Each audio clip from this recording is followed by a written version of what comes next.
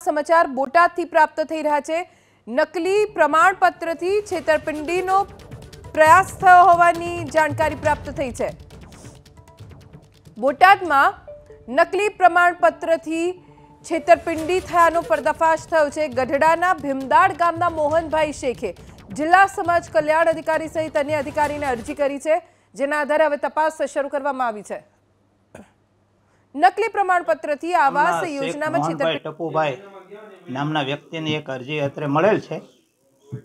તેમાં એમણે ત્રાહિત વ્યક્તિ દ્વારા પંડિત દીનદયાળ આવાસ યોજનામાં પૈસા મેળવ્યા હોવાનું ફરિયાદ કરેલ છે.